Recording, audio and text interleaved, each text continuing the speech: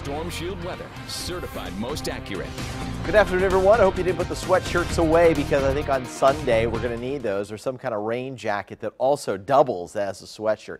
Two strong cold fronts on the way, one tomorrow night, then another one Sunday and wait till you see the high temperature on Sunday. Golf forecast tomorrow looks fantastic. Light breezes in the morning, picking up a little bit as we head toward the noon hour.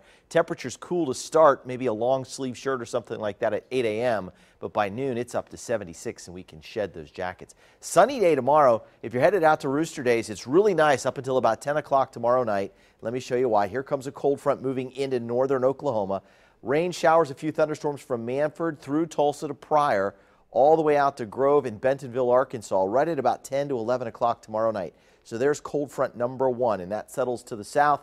Saturday morning, we're going to lose those showers pretty early, so the parade for Rooster Day Saturday morning should be dry. Then we start to see a disturbance moving back in here Saturday late afternoon, and because of the cloud cover, the highs should be in the 60s on Saturday around Tulsa, mid 60s at Pryor, 70 at Bristow, Okemah, and Shawnee then that next front will come through. Rainfall amounts look pretty good, especially as we go deeper into Sunday. You'll notice that Sunday at 1 o'clock we're already up to a half inch of rainfall, but there's more on the way. And because of the rainfall, Sunday afternoon might get stuck at about 58 or 59 degrees. We'll take a closer look at that coming up tonight at 6 o'clock. Allergy report tonight, tree pollen high, grass pollen also high. Weeds are in the moderate range and the mold spores now considered low. High temperature today, 78 after a cool morning low of 60. If you were out early this morning with the humidity dropping behind that cold front, boy, what a noticeable difference. 78 your average high, 91 the record high, 40 back in 2013, so three years ago, all the way down to 40 degrees. Isn't that a thing of beauty? Just gorgeous skies outside right now, 78 degrees. Relative humidity, 32%. Dew point is down to 46. Yesterday it was in the 60s. North winds right now 8 miles an hour. Barometric pressure considered high at 30.15. Incredible evening. 76 degrees at 7 p.m. Headed towards sunset. 68 fantastic light south winds. And then with southerly winds overnight down to 52 degrees. The average low is 58. Some of us are going to drop all the way into the 40s. In fact, Bartlesville could be down to 49.